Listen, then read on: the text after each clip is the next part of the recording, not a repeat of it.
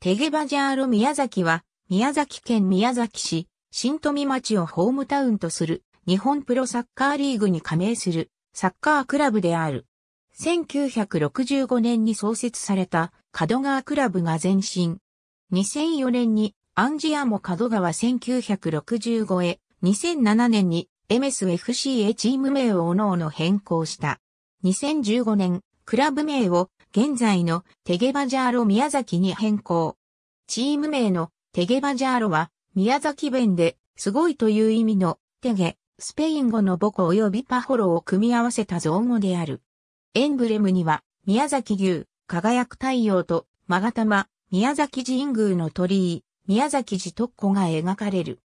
もともとは、日向地区リーグに所属するサッカー少年団の OB チームであったが、1999年、プロフェソール宮崎 FC のクラブ運営に疑問を覚え、対談した柳田和弘が小学生時代の指導者であった当時の代表から運営を受け継ぎ選手権監督に就任。プロフェソールからも柳田と行動を共にした選手7から8名が加入した。2003年に宮崎県サッカーリーグへ昇格。2005年から当時柳田がコーチを務めていた宮崎産業経営大学サッカー部の OB が入団し始める。MSFC に解消した2007年から産経大の学生 OB の比率が増し、同サッカー部監督の宮尾正人が特別アドバイザーに就任するなど関係を深め、事実上のセカンドチームとしての役割を果たすようになる。2008年に宮崎県リーグ一部で初優勝。また、2009年8月3日に運営法人となる特定非営利活動法人エメスが認証された。同年には宮崎県リーグ一部を2年連続で優勝。九州各県リーグ決勝大会で準優勝の成績を収め、2010年から九州サッカーリーグへ昇格した。この大会ではメンバーを大幅に入れ替え、新たに補強した産経大サッカー部の主力選手らを中心に戦った。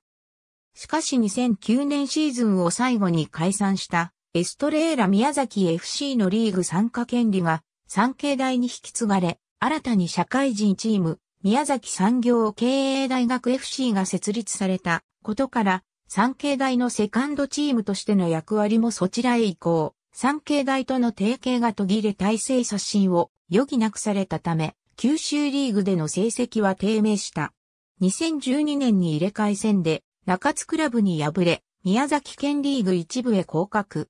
2013年の九州各県リーグ決勝大会で準優勝の成績を収め、2014年から九州リーグへ再昇格した。2015年1月20日、クラブ名をテゲーバジャーロ宮崎に改称。2017年に J3 リーグ参入を目標にすることを発表した。また、クラブの運営法人が2015年3月に設立された株式会社テゲバジャーロ宮崎に変更された。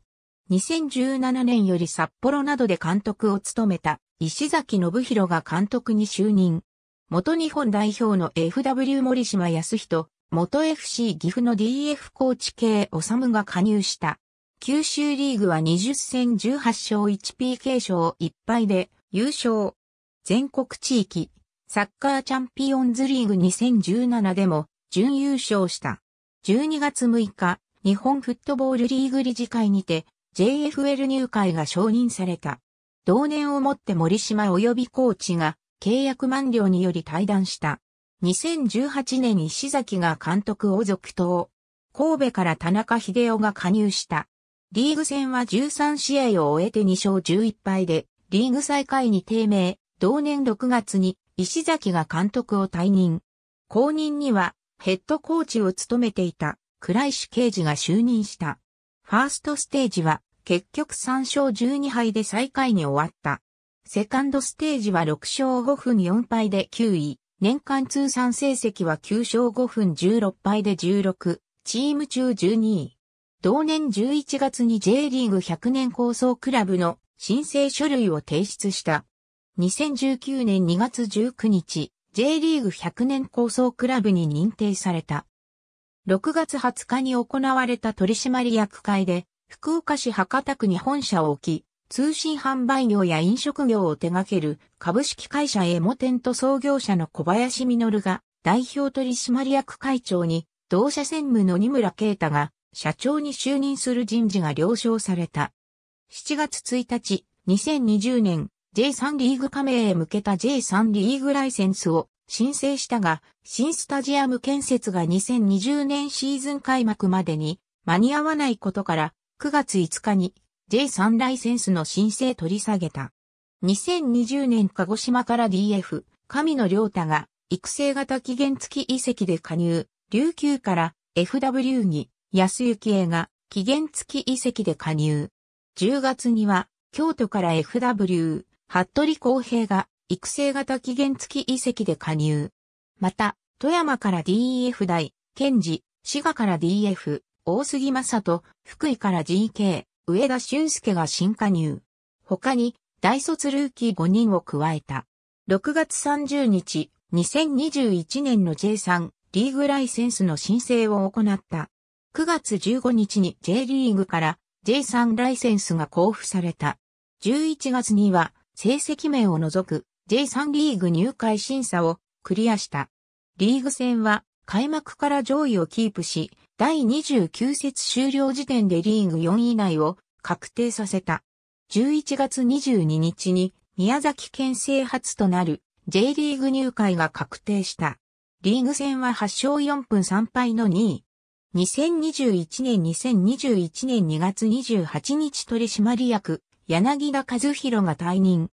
前年まで監督を務めた倉石刑事が S 級コーチライセンスを保有してないためヘッドコーチに退き、モンテリオ山形などでコーチを務めた内藤成行が公認の監督に就任した。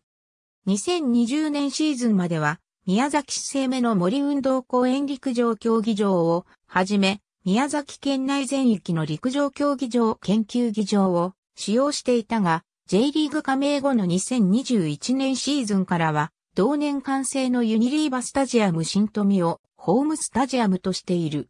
なお、過去のホームゲーム開催スタジアムは、テゲーバジャーロ宮崎の年度別成績一覧、年度別入場者数を参照のこと。ありがとうございます。